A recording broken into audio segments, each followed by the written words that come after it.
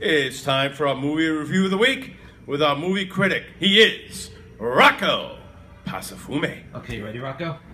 I'm as ready as I'll ever be. Thank You you got very much, Howie. Uh, this is your movie review for the week.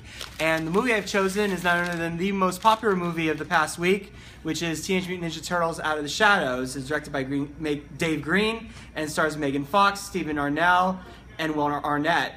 The four Green brothers, Leonardo, Michelangelo, Donatello, and Raphael, reemerge from the sewers to face their old nemesis, the Shredder, who now teams up with renegade mad scientist Baxter Stockman, played by Tyler Perry, and an interdimensional being known as Krang, as well as two punks who turn into mutants known as Bebop and Rocksteady. If the plot sounds particularly familiar this time around, it's because a lot of this is based on the uh, original uh, cartoon se- series of Ninja Turtles that made the, sh- the whole property so popular in the first place. Ninja Turtles has a very long history, but it was particularly the cartoon that made it the huge phenomenon that it became in the uh, late 80s and early 90s. Um, there's been several movies of Ninja Turtles, some better than others. The original movie would probably be the best aspect to this day, the original 1990 movie. There have been a couple sequels that kind of varied in quality. I would say this particular sequel to this new series of movies is probably the best one we've seen in a while. It's an improvement from the first film.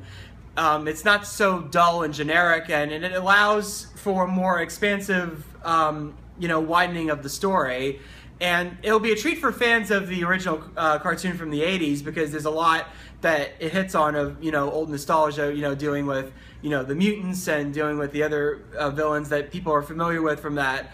As far as the movie itself goes, it hasn't really done too much to really improve the quality of the films because the films are very entertaining, probably now more entertaining than they were the first time around, but it, I, I feel like you know Michael Bay, who's the producer of these movies, he really does not have a firm grip on what it is that people loved about Ninja Turtles, you know, growing up.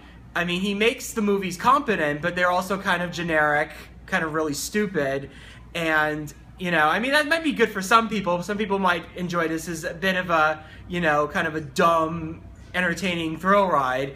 But for people who are probably looking for a little bit more than that this summer, it's not for the greatest experience in the world. But like I said, it's definitely an improvement over the first one. It's definitely a more worthy um, film entry than maybe some of the Ninja Turtles movies of the past. Probably going back to the uh, original second film, The Secret of the Ooze, which this um, Out of the Shadows bears a lot of similarities to. So overall, I give Ninja Turtles Out of the Shadows two out of five stars. So thank you very much.